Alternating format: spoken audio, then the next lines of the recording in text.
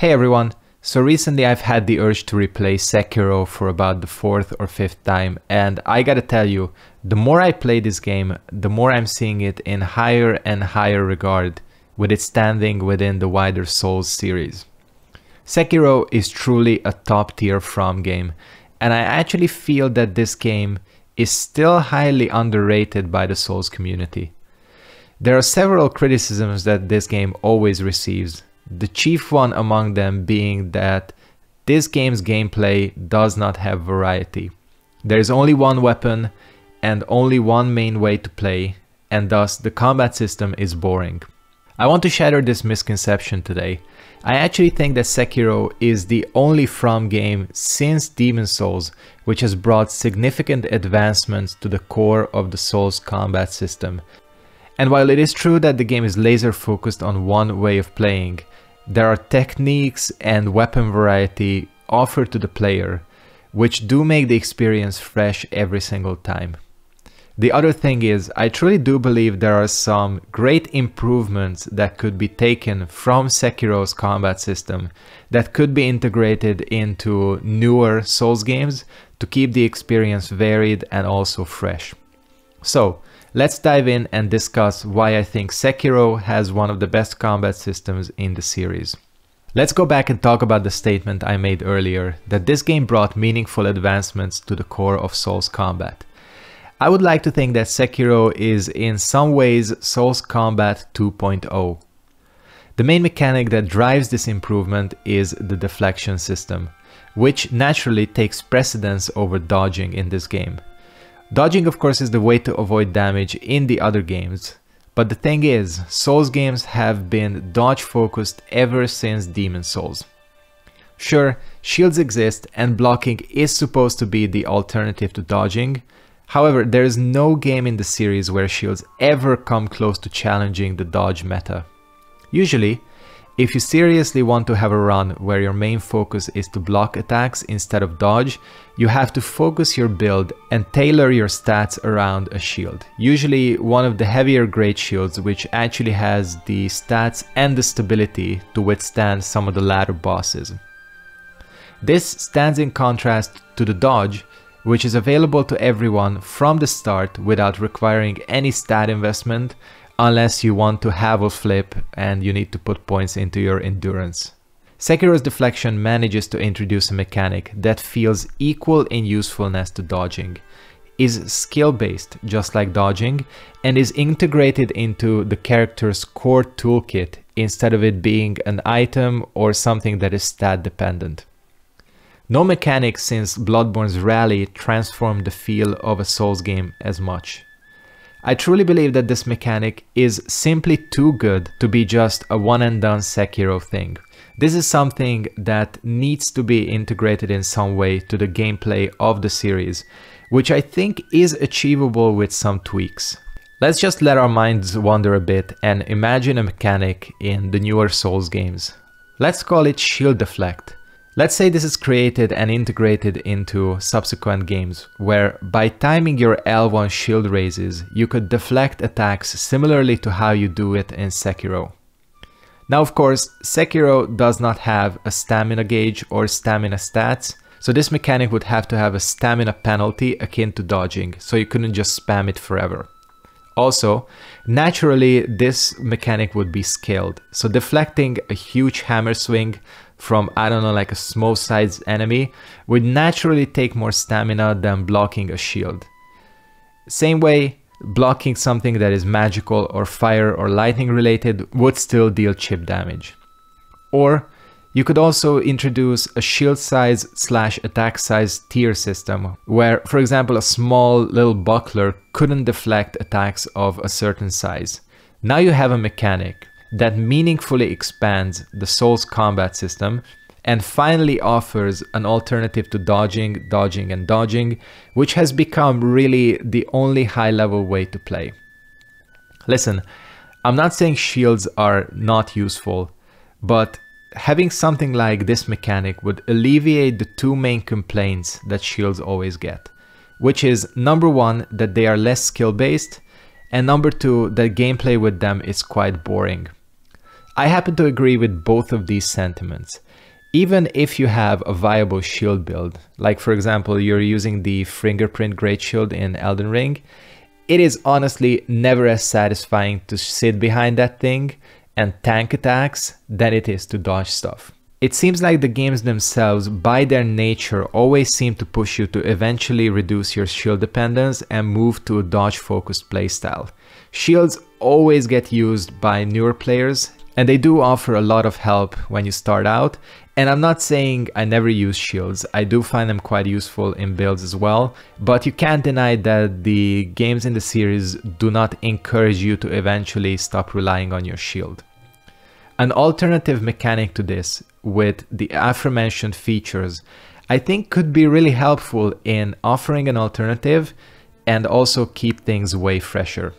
Aside from the deflection, the other genius gameplay feature of Sekiro that I would like to highlight is the perilous attack system. For anyone who doesn't know, these are specific, normally very difficult slash almost impossible to dodge attacks that can be dealt with using a specific tool in your main arsenal.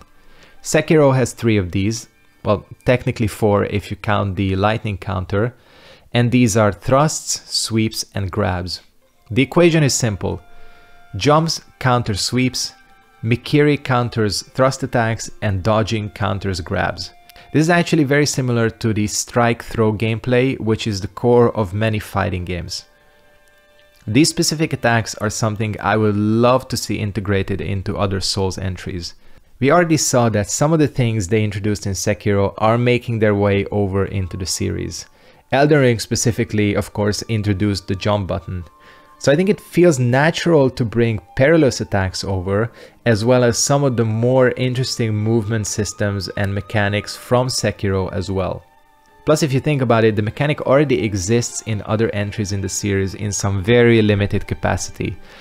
I'm talking about how you can counter Manus's and Maliketh's attacks, which are incredibly difficult to dodge normally with specific items. But an expanded version of the Perilous Attack system would go a long way in keeping the combat not only interesting, but also introduce an alternative way for From to ramp up the difficulty. With Elden Ring, it has become really obvious that the main method From uses to keep the difficulty high nowadays is to introduce, well, frankly ridiculous attack delays, tracking, and overly long combos to many of the enemies. This is something many people, including me, have criticized the game for. From had to do this because at this point the skill ceiling of the community is so high and everybody is so adept at dodging that it is actually difficult now for them to keep the enemies and the bosses challenging without resorting to some of these aforementioned methods.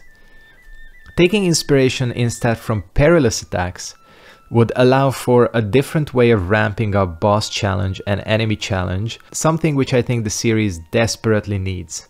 Listen, I've talked about this before, but I still truly believe that if From continues down this path, they will eventually get to a point where it will be impossible to push the boss difficulty any further. You can already see them pushing the limit I think with some of the Elden Ring super bosses, specifically Malenia. I mean, there's no person in the world who hasn't complained about Malenia's waterfall dance, because that's an attack that almost feels too ridiculous with FromSoft expecting you to avoid it. By instead moving to new mechanics, an alternative could be offered to keep combat challenging but also fair.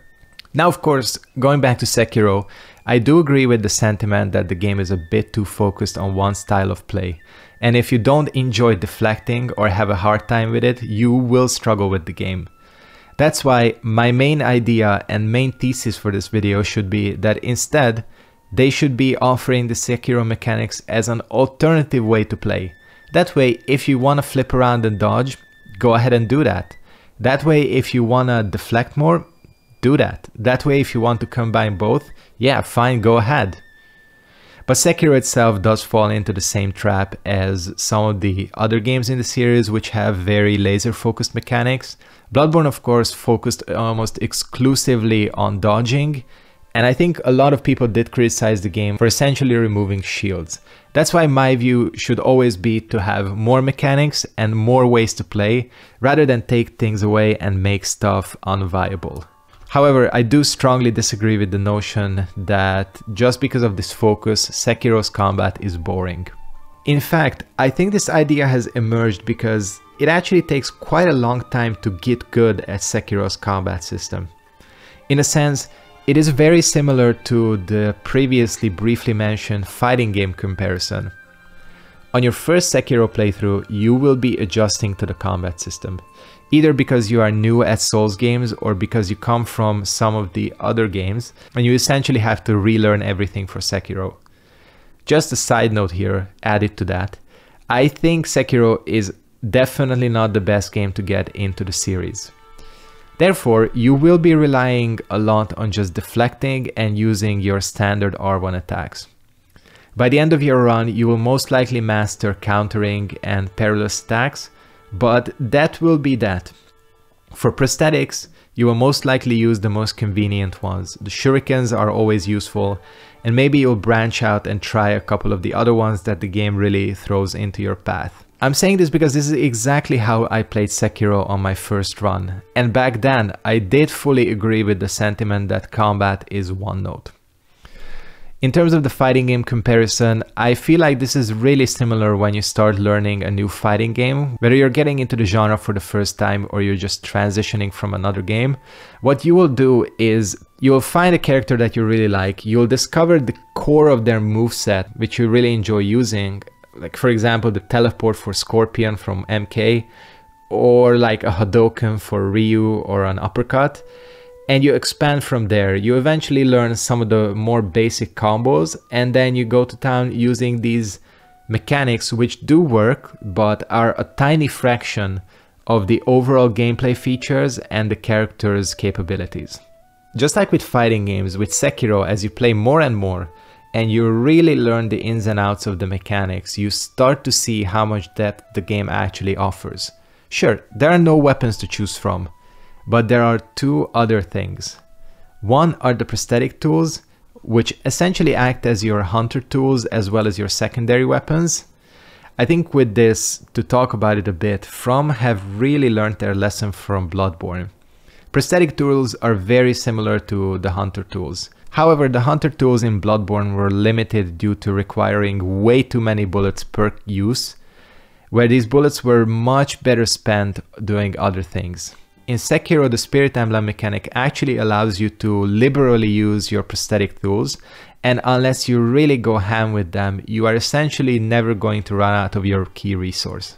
But anyways, if you go a bit deeper into the upgrade path of the prosthetic tools, the possibilities really start opening up. You can poison enemies with the Sabimaru, have an alternative to your parry and your dodge with the Mistraven, and do some absolutely wild things with the Umbrella. Just to give you an example, you can parry an attack with the Fire Umbrella, counter attack with it, switch to your Flame, blast the enemy and at the same time fire buff your weapon and continue on attacking. The interactions between the prosthetic tools and your basic moveset really opens up once you go beyond shuriken, axe and spear. If you want to have a look at it, just look at high level Sekiro gameplay on YouTube. There are some exceptional players and exceptional montages on all the crazy shit you can do.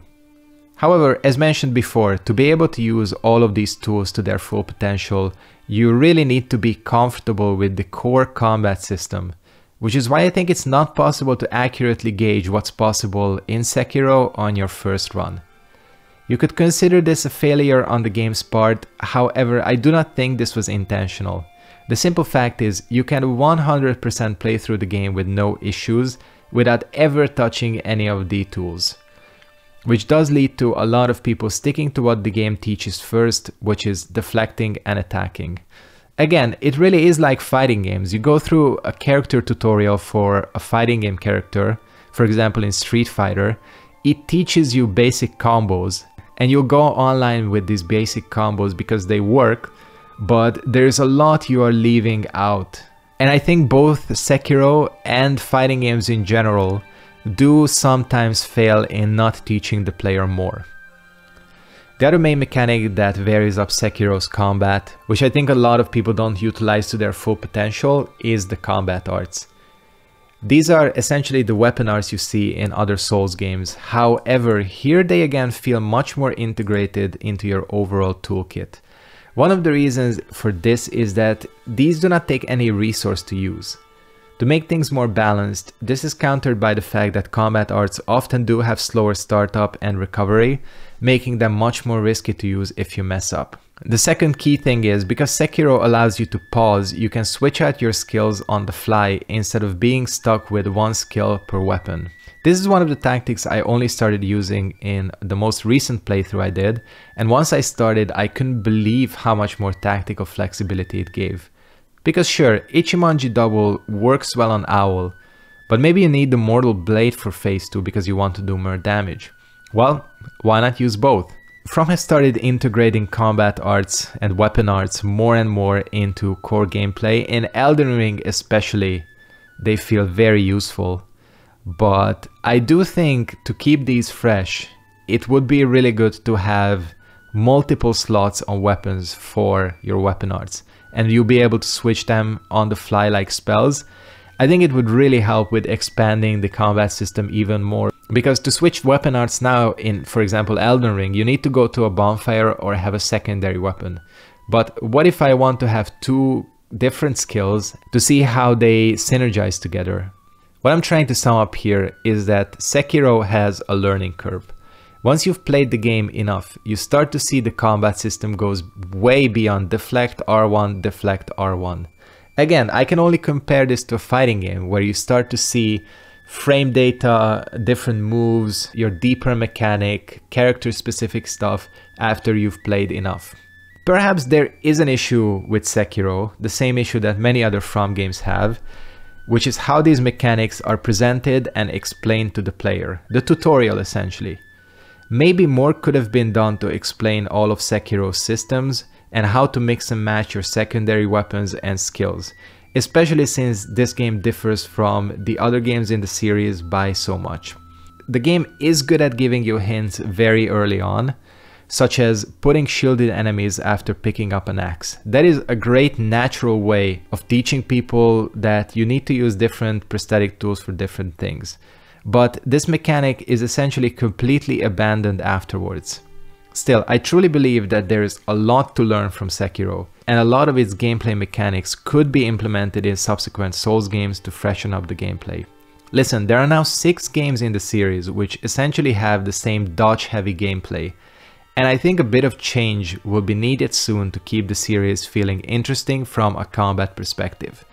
This is not to mention the fact that more and more Souls-likes and Souls clones are coming out, which means that at this point, like you're basically dodge rolling in every other game.